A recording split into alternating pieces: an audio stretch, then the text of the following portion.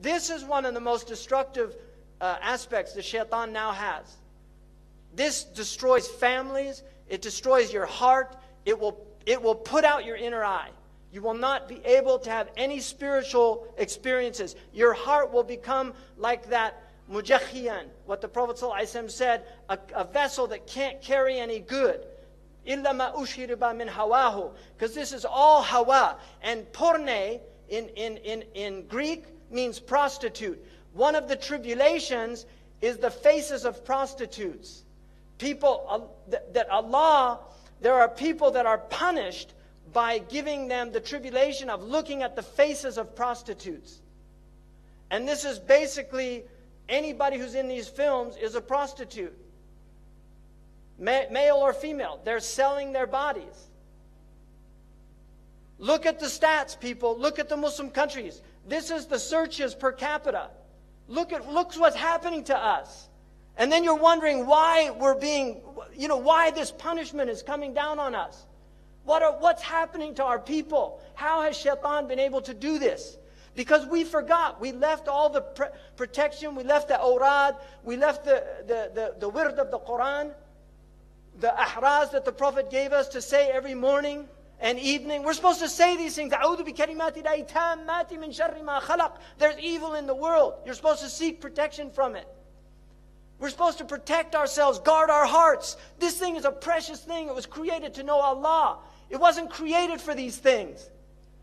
And Islam is a pure religion. The Muslims that migrated to, out of India called it Pakistan, the land of pure, purity. Muslims are supposed to be pak, they're supposed to be tayyib. The Prophet said, At-tayyibun the tayyibat. This, is, this will corrupt the heart. It will make it aswad mirbad, black. Internet websites, 4.2 million, 12% of total websites. Pornographic pages, 372 million. These are sound stats.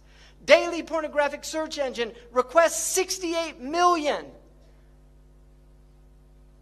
25% of total search engine requests. What's happening to us as a species? Daily pornographic emails, 2.5 billion. 8% of total emails. What's happening to us? Another major problem we, the, the, UN estimates there are more slaves today than any other time in human history. And most of it, 80%, is sexual slavery. And this is another really serious problem, the problem of lust, that we're really not dealing with in our society. I really think we're in a deep denial about the serious problem of lust in this culture. And, and one, one of the, the most important thermometers for it is pornography. The size of the industry now is 57 billion worldwide. It's a massive industry. These are, these are sound numbers, people. These are not exaggerated numbers. These are, these are taken from uh, one, one of our top universities. 12 billion in the US, Porn revenue is larger than all combined revenues of all professional football, baseball, and basketball franchises. U.S. porn revenue exceeds the combined revenues of ABC, CBS, and NBC.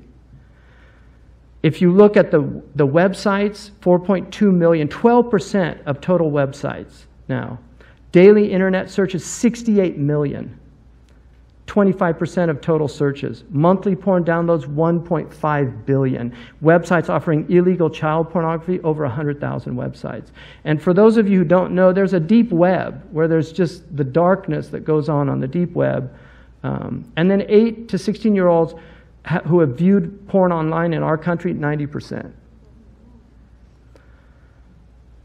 Gluttony, overconsumption, those who squander are like siblings of, of uh, or the brethren of the demons.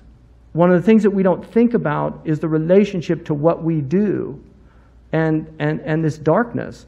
People that are watching pornography are supporting human trafficking because many of the women in these films that are done here in the United States and outside the United States are women in sexual bondage. They're, they're not, you, you know, you have these girls that appear on CNN getting their degree at Duke and saying how much they love being a porn star. those represent a very, very, very tiny percentage of the actual women engaged in the porn industry, which degrades both men and women. And, and we as a people really need to think about why it is that pornography is the number one form of media now in the United States of America.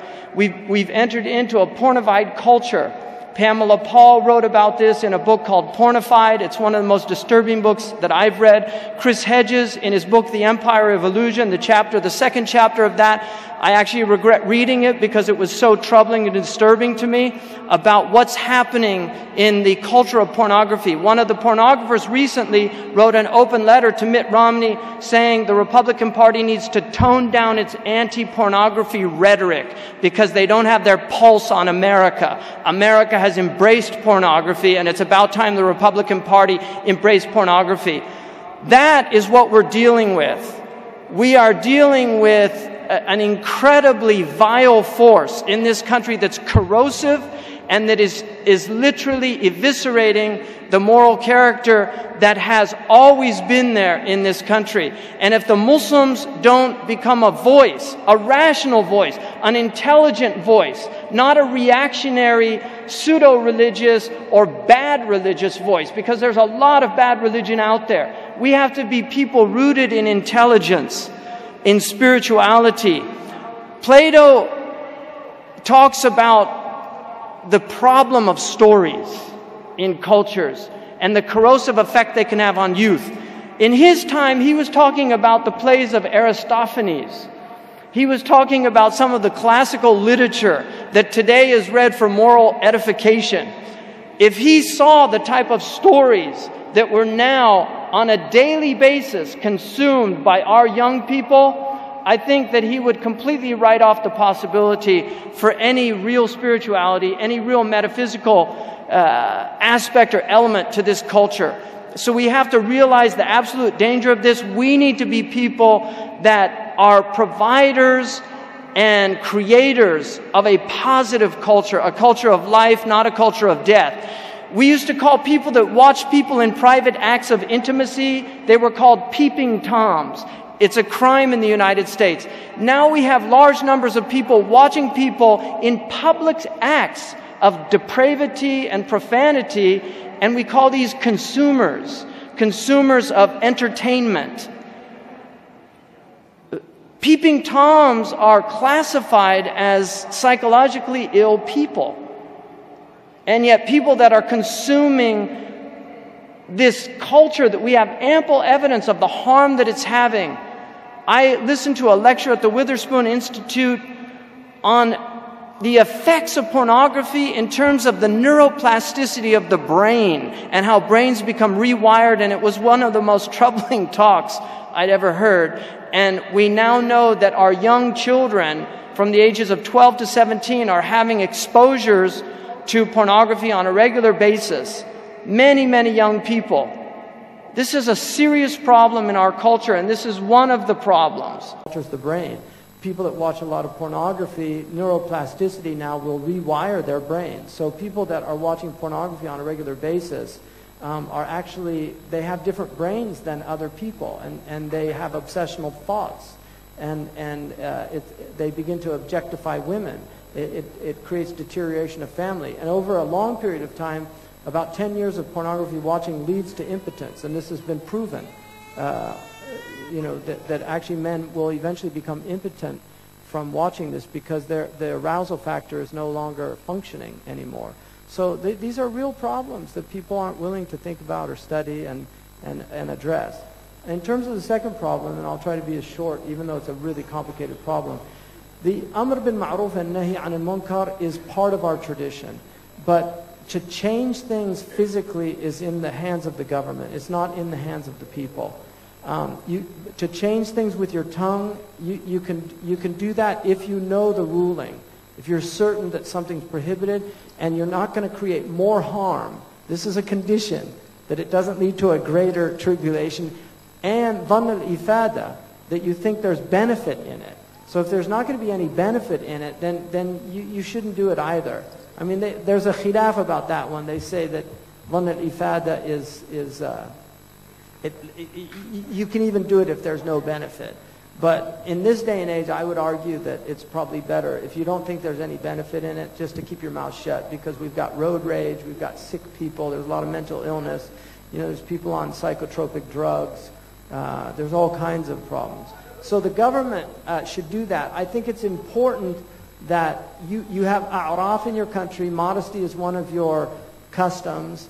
And those things need to be encouraged in people. And I would hate to see you lose those things. And it saddens me that you're telling me these things. But this is part of the modern world. We live in a global culture. Um, the internet has opened up Pandora's box. Uh, and so the, the, the evils of the internet have spread everywhere. But desensitization is a reality, and people do become desensitized. Madonna actually said in Advocate magazine, which is a gay magazine, in an, in, a, in an interview that she did for that magazine, uh, which is a homosexual magazine in the United States, she said that one of the reasons that she kisses girls in public um, on stage is because she wants people to get used to seeing this. They might initially be disgusted by it, but she said, but it also might excite them, and eventually they'll see it as a normal thing. So th- these, these are people that are literally, they have agendas. They're, they're advocating social change, and, and it's, it's, it's not for traditional values. She ended one of her songs by, with the, the three of them singing at the Grammys. Uh, she ended it by saying, We're bored of the concept of right and wrong. We're bored of the concept of right and wrong. So these people are moral relativists. They don't believe, they're actually amoral, they, uh, or immoral and amoral. They, they don't believe in, in moral uh, concepts of right and wrong. They believe in the concept of do what thou wilt. And this is one of the first teachings of the prophets. If you have no shame, do whatever you want. Our prophet said that. Innam tastahi. And so part of the modern culture is to remove shame or modesty from people. And our prophet said every religion has a characteristic. And the characteristic of my religion is modesty. And, and children are modest by nature. They're not shameless. And, and you're, you're a shame-based, anthropologically, the Malay culture is traditionally a shame-based culture. Um, so it's important that you don't lose that. Because once you lose shame, uh, everything goes with it.